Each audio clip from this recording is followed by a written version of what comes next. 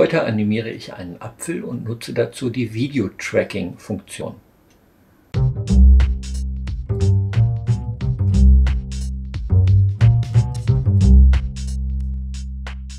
Hallo, ich heiße Ingo.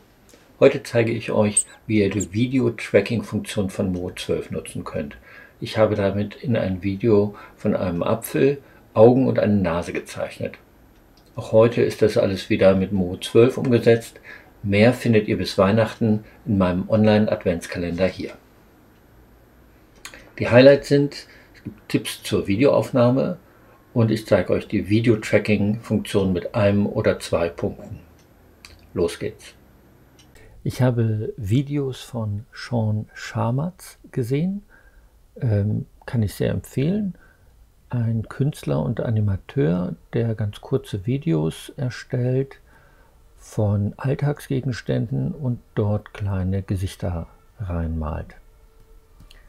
Um das nachzumachen, habe ich also ein Video von diesem Apfel gemacht und ich fand es dann leichter, zwei Stecknadeln mit einem äh, andersfarbigen Punkt hinten in den Apfel hineinzustecken. Das erleichtert der Software das Tracken, also das Verfolgen von Elementen auf dem Video enorm.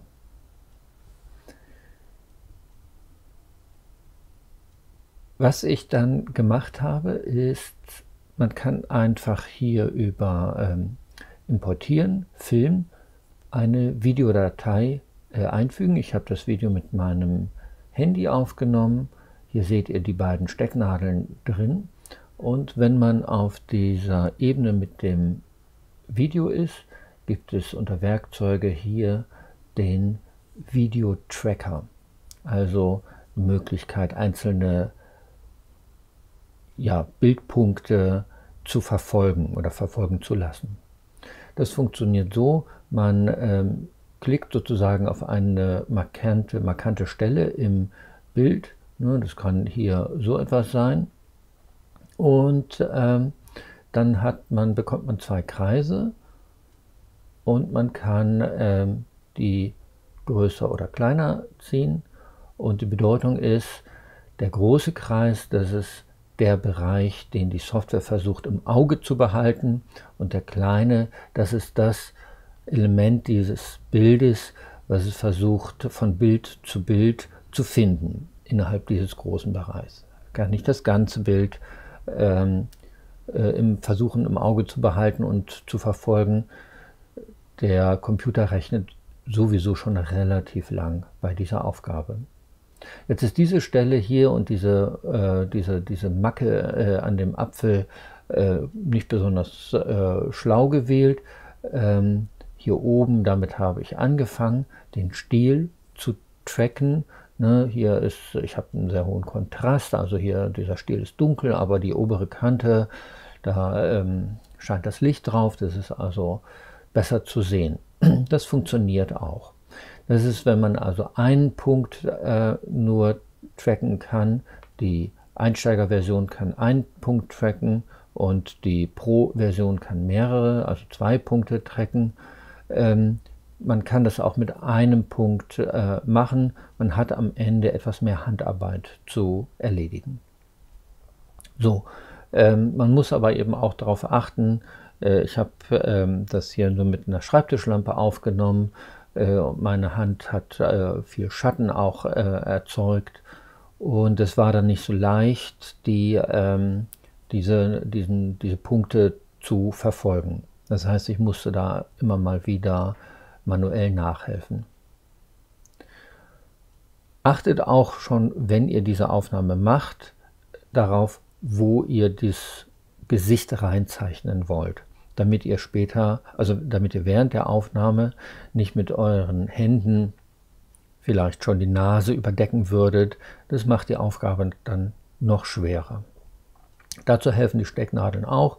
Ich wusste schon während der Aufnahme, da werden die Augen hinkommen. Ich habe versucht, den Apfel dann eben anders in der Hand zu halten. So, ich nehme jetzt diesen Tracking-Punkt hier mal wieder raus. Wenn man äh, die beiden Tracking-Punkte gesetzt hat, die haben dann hier auch Namen, Trackerpunkt 1, Trackerpunkt 2 hier oben. Ähm, dann geht man auf das äh, erste Bild und man muss einmal diese Trackerpunkte äh, anfassen und dann erzeugt man ein erstes Schlüsselbild, ein Keyframe. Und dann kann man eigentlich sagen, okay, Wiedergabe. Und die läuft dann sehr, sehr langsam ab, weil er versucht, diese beiden Trackerpunkte von Bild zu Bild neu zu platzieren. Das hat er hier gemacht. Ähm, das funktioniert nicht perfekt. Ähm, ab und zu, hier habe ich dann das Video angehalten und die Punkte dann nochmal manuell platziert. Ähm, jetzt ist das hier natürlich schon gemacht, aber das ist, wenn hier zu viel Schatten ist, das Grün ist dann doch relativ dunkel auf einmal geworden, ich halte den Apfel anders oder äh, dann gibt es eine Stelle, wo dann ähm, das Bild nicht mehr scharf ist, weil das, der Apfel sich bewegt. Also das sind die Stellen, wo ihr dann diese Trackerpunkte einfach anfasst, nochmal äh, mit eurem Auge sozusagen neu platziert und dann ähm, funktioniert das auch. So, jetzt habt ihr also die ganz vielen äh, Schlüsselbilder äh, festlegen lassen von der Tracking-Software und dann habt ihr äh, eine, ähm, könnt ihr also eine, ähm, eine weitere Ebene mit diesem Gesicht dann zeichnen.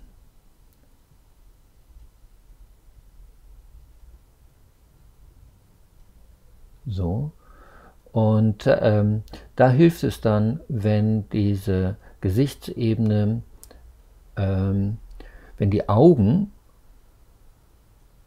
so groß gezeichnet sind, dass die eure Tracking-Punkte dann auch gut überdecken. Je größer die sind, desto äh, leichter überdecken die leichte Ungenauigkeiten.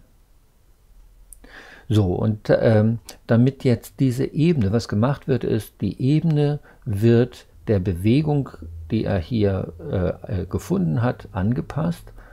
Und ähm, das sind die beiden Tracking-Punkte. Das hier ist das Gesicht und man kann hier unter Animation Ebene in Video, äh, im Video Tracking, im Video tracken, so. Ähm, ähm, da gibt es also jetzt hier ein so ein Fenster, das geht auf und ähm, dort habt ihr dann die äh, Möglichkeit, den primären Tracking-Punkt zu setzen. Äh, ich habe hier noch die Möglichkeit, auch einen sekundären Punkt zu setzen und ähm, äh, kann dann eben sagen, dass er auch den Winkel äh, anpassen soll, das heißt, wie sich dann die Ebene dreht. Wenn ihr das, die Möglichkeit nicht habt, müsst ihr diese Drehung der Ebene selber vornehmen. Das geht auch. Ähm, das geht eben, wenn der Film kurz ist. Man kann das auch noch skalieren, das heißt, wenn man also ähm, Objekte hat, die dann ähm, von vorne nach hinten, also weiter weggehen, dann äh, sind die beiden Punkte kommen dann ja scheinbar näher zusammen und ähm, dadurch kann dann auch, also können in diesem Fall dann die Augen kleiner gezeichnet werden. Okay. Ja, das ist das, was ihr äh, wissen müsst und ähm, ich gehe nochmal hier auf die ähm, Tracking-Punkte. Und ähm, dann habe ich ganz zum Schluss noch einen Text äh, hinzugefügt und den auch so reinfallen lassen. Ähm, schaut euch das an, ähm, wie ich das gemacht habe. Ich gehe mal hier auf die Textebene. Na, hier sieht man den Bewegungspfad, also das fällt hier dann rein und äh, rutscht dann so runter. Achso, was noch äh, wichtig ist bei dem Gesicht, hier sieht man jetzt übrigens diese blaue Linie, das ist die, äh, das ist das getrackte, der getrackte Pfad dieser Tracking-Punkte. So, und ähm, was ich eben gemacht habe, dass ich am Anfang äh, noch die Augen, bevor ich den Apfel anfasse, bewegt habe, so dass es eben scheint, als ob der Apfel mit seiner Umgebung interagiert. Ich gucke halt auf den Daumen, dann gucke ich auf die andere Hand, dann äh, gucke ich den Betrachter nochmal an, dann ähm, das gibt dem Objekt noch ein bisschen mehr Leben. Okay, das ist das, was ihr zum Videotracking äh, wissen müsst. Bringt viel Spaß, ist ein bisschen mühselig. Der Rechner hat sehr, äh, braucht viel Zeit, bis er das alles ausgerechnet hat. Ähm, ja, viel Spaß und ähm, zeigt mir mal eure getrackten Mini-Videos.